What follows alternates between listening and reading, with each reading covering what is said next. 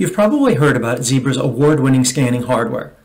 Now let me tell you about our industry-leading SDKs. These SDKs share a common design philosophy. One thing being that whatever app you develop will allow you to leverage 100% of the scanner's capabilities. And once you develop an app, it'll work on all Zebra scanners.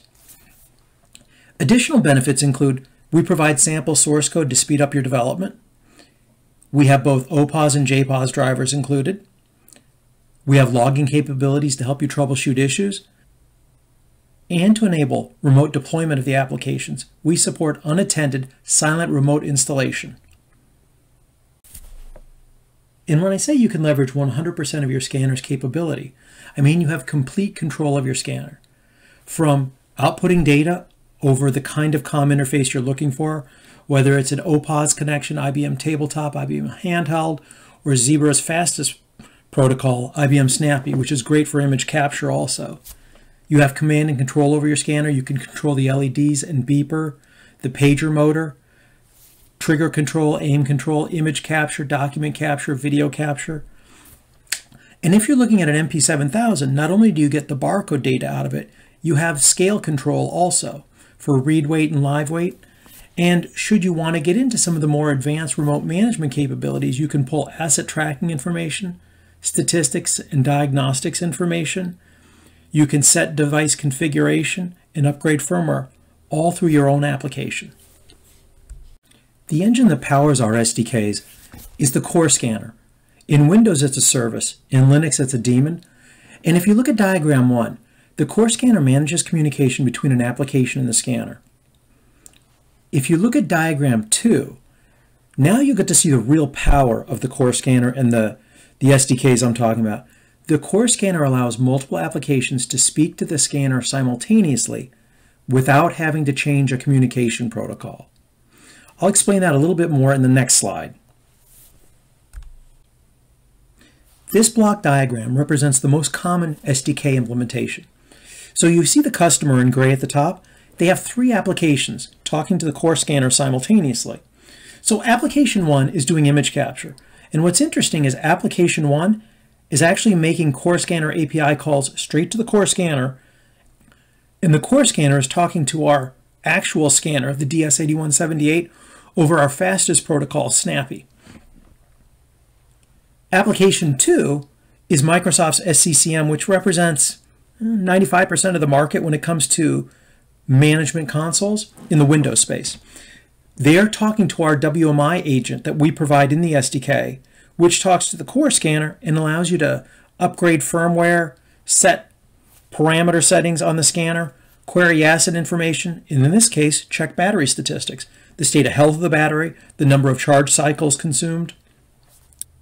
And then application three is a point of sale application. And what's interesting here is it's not OPOS based, it's not JPOS based. It wants old-fashioned HID keyboard. Now, you notice how the core scanner is talking to our scanner in a communication interface of SNAPI.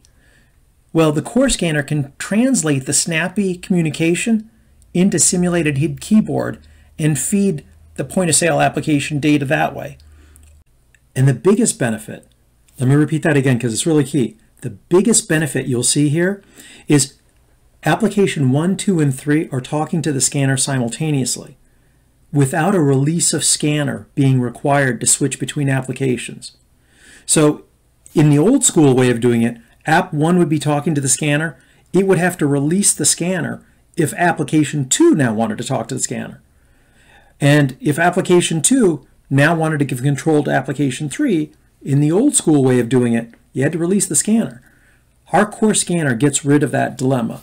All three applications are talking to the scanner at the same time through the core scanner. In this second example, you have three applications talking to our scanner, scanners actually, through the core scanner just like in the last application. But what's different here is I have two scanners talking to the POS application. So I have my MP7000 Bioptic, including the scale, talking to the core scanner, relaying information through OPOS to my point of sale application. But I also have an auxiliary scanner, a cordless DS8178 talking to the MP7000, which then talks to the core scanner. So I've got both scanners being supported simultaneously by the core scanner. And the core scanner is managing communication all the way down to the auxiliary scanner here. I have remote management going on through Microsoft's SCCM on the customer side, and it's using as an agent our scanner management service to do remote management, firmware update, device configuration, asset query. And then I have application one using Splunk, which analyzes data, talking to our logging agent to retrieve statistics on a scheduled basis. So maybe you want statistics every two minutes, every 10 minutes, or maybe you want to make it so that when you query statistics, you want all the registers in your entire store or your entire chain all with one button click. At this point in time, you've probably come to the realization our Windows and Linux SDKs are both very powerful and have a very similar architecture and layout. But that doesn't speak to ease of use. We make adoption of our SDKs a primary focus. Both SDKs, the Windows SDK and the Linux SDK, can be downloaded from our website. We give you sample apps that support all the scanner functionality and allow you to test it so that if you're writing an app and you want to make sure it's behaving the way it ought to, you can double check it in the, the sample apps. We give you free source code for those sample apps and code snippets on a GitHub repository. We give you online documentation, which is Google searchable.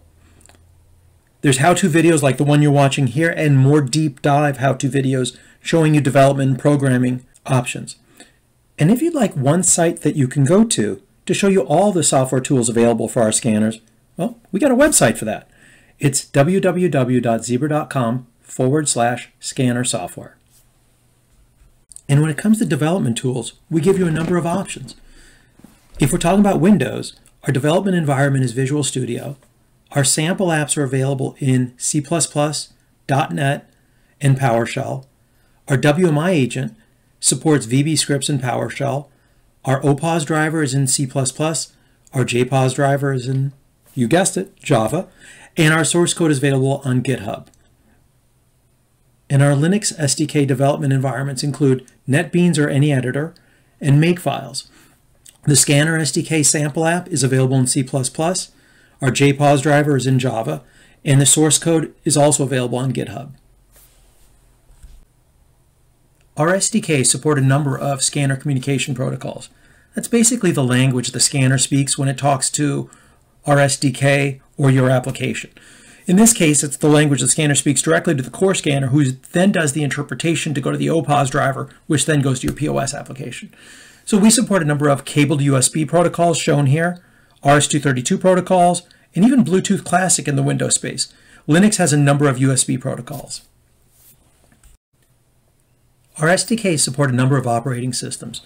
The Windows SDK supports Windows 10, 8, and POS Ready 7. Our Linux SDK supports a number of distributions, too many to go through individually. But what's nice about the Linux SDK is we understand that the Linux operating system world changes quite frequently, so we're constantly adding new distributions to the supported distribution list. Thanks for watching this video, and if you'd like some more information, visit the URL shown on this page.